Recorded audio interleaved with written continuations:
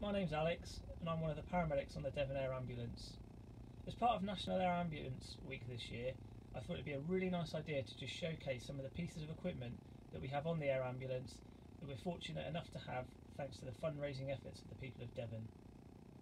So every day this week I'm going to showcase one piece of equipment starting with one item today. So the first piece of equipment that I'm going to show you this week is our monitor. Now this is a vital piece of equipment that we use on every single patient and that's because it shows us what a patient's heart rate is doing, what their blood pressure is, how much oxygen they have in their blood and how well they're breathing. And of course that's really really useful to know because it allows us to make decisions about the clinical care that we need to provide for a patient. What's also interesting about this piece of equipment is that it has a camera on it. It also has an ultrasound ability and also a video camera that we can use to assist when we're managing somebody's airway.